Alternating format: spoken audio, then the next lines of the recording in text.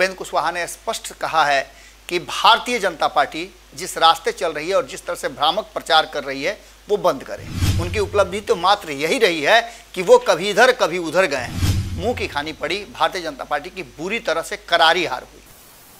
नमस्कार, ये आपका भारत लाइव है और लगातार खबरों के इस दौड़ में, आपाधापी में एक खबर जो है, वो बड़ा ही महत्वपूर्ण है। जो खबर आप तक पहुँची तो ज़रूर होगी, लेकिन उस खबर ने आखिर संदेश क्या दिया बिहार की राजनीति के लिए?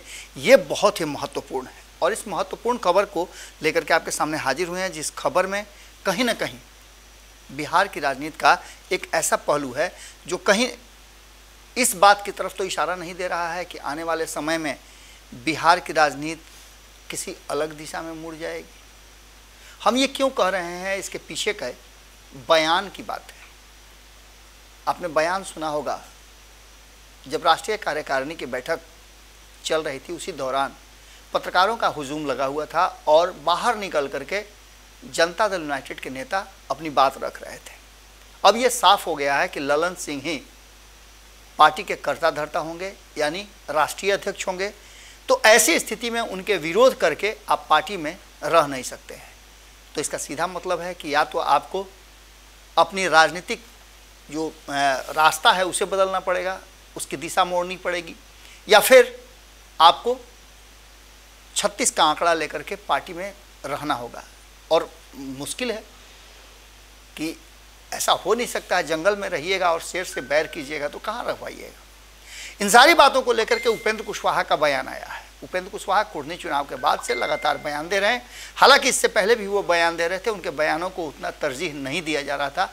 मीडिया ने उनके बयानों को जिस तरह से भी प्रस्तुत किया हो उपेंद्र कुशवाहा से जब हमारी बातचीत हुई थी तो उन्होंने कहा था कि मीडिया में बहुत सारी बातें ऐसी चलती है जो जिससे लेना देना मेरा कोई नहीं है। मैं कहीं नहीं जा रहा हूँ। ये सब बातें हमने आपको बताया, लेकिन अब जबकि उन्होंने नीतीश कुमार से दो तीन बातें कही थी, जिस पर अमल नहीं हुआ, और एक साथ अचानक से दोबारा ललन सिंह के अध्यक्ष बनने के बाद जो बयान आया है उपेंद्र कुशवाहा का बयान कुछ और कहता है। उपेंद्र कुशवाहा जब एनडीए में थे तो एनडीए को लेकर के उनके तरफ़ से बयान आया था और उस बयान ने भारतीय जनता पार्टी को काफ़ी परेशान किया था, जिसको लेकर के भारतीय जनता पार्टी ने प्रतिक्रिया भी दी थी और वो बयान था नीतीश कुमार को प्रधानमंत्री के उम्मीदवारों में सबसे ज़्यादा कहा जा रहा था स्वीकार्य या सबसे सक्षम व्यक्ति कहा गया था। अब इस बात को लेकर के चर्चा चल ही रही थी कि अचानक से नीतीश कुमार को पाला बदलना पड़ा और ये स्पष्ट होने लगा कि नीतीश कुमार अब सच में प्रधानमंत्री के रूप में नरेंद्र मोदी को टक्कर देंगे उम्मीदवारी में। इस बात के बाद धीरे धीरे ये चर्चा ही बंद हो गई। क्योंकि नीतीश कुमार जब लोगों से मिलने गए अलग अलग राजनीतिक दलों से मुलाकात हुई तो उस मुलाकात में कोई पॉजिटिव साइन नज़र नहीं आया।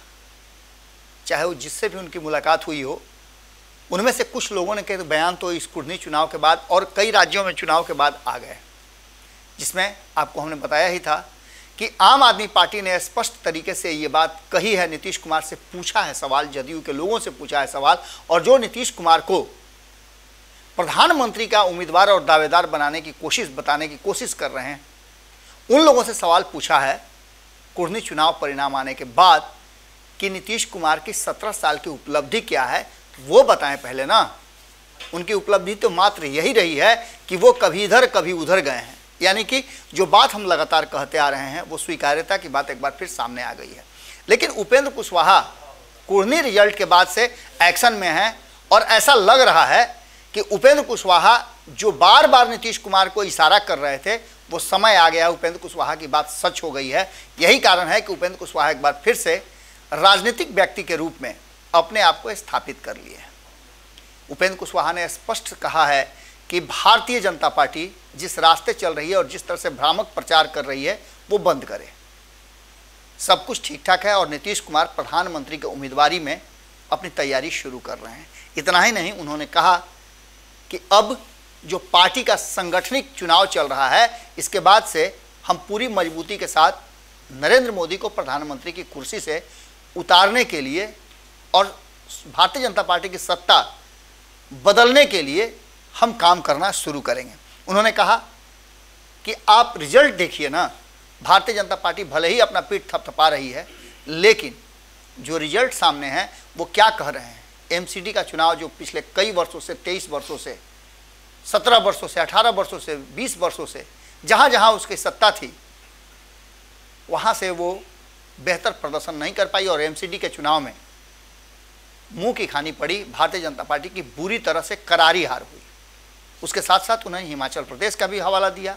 कहा कि हिमाचल प्रदेश में अपनी सारी शक्ति लगाने के बाद भी जिस तरह से विपक्ष एकजुट था और कांग्रेस के विरुद्ध अपने उम्मीदवार नहीं खड़ा किए थे, जिसका नतीजा हुआ कि भारतीय जनता पार्टी को वहाँ पटकनी दी जा सकी। और गुजरात की बात वो करते हैं कि गुजरात में जिस तरह की बातें सामने आई, वो साफ़ नज़र आ रही है कि हम सामंजस्य नहीं बिठा पाए। कहीं ना कहीं हमारे कांग्रेस और आम आदमी पार्टी के अलग अलग चुनाव लड़ने से ये मामला अटक गया और इस मामले में भारतीय जनता पार्टी ने जीत हासिल कर ली। लेकिन ये कोई बड़ी बात नहीं है। ये स्पष्ट हो गया है कि भारतीय जनता पार्टी को मात दिया जा सकता है। अब उपेंद्र कुशवाहा की ये बदली हुई जो रणनीति है, बदला हुआ सुर है, देखना होगा कि ये कितना अस्थाई होता है। उपेंद्र कुशवाहा लगातार कहा जा रहा था कि अपने लिए अपने लिए ज़मीन तलाश कर रहे हैं। हो सकता है कि दूसरी पारी में जब ललन सिंह आए हैं तो उनके लिए ज़मीन का बंदोबस्त हो रहा हो और राजनीतिक रूप से एक बार फिर उपेंद्र कुशवाहा को कोई बड़ा जिम्मेवारी दिया जाए। इसी आशा में देखना होगा कि आगे की रणनीति और बयान क्या कुछ कहते हैं। हालाँकि उपेंद्र कुशवाहा ने अपने बयानों में बहुत नरमी लाई है और वो पार्टी और संगठन की बात को लेकर के ललन सिंह के अध्यक्ष चुने जाने को लेकर के उनको बधाई भी दे रहे हैं। अगर ये वीडियो पसंद आई, और वह बिहार के राजनीति और बिहारियत से सरोकार रखेनी तो सब्सक्राइब बटन दबा के चैनल के सब्सक्राइब कर ली। ओजे एगो घंटी बा। ओकरा बटन दबा देला से कुल सटीक और मारक खबर रुआ मुफ़्त में मिल जाई। अगर रुआ पत्रकारिता के हमनी के नया प्रयोग में सहयोग कर चाहतनी तो ज्वाइन बटन दबा दी। पेटीएम नंबर नोट कर ली nine three eight six eight one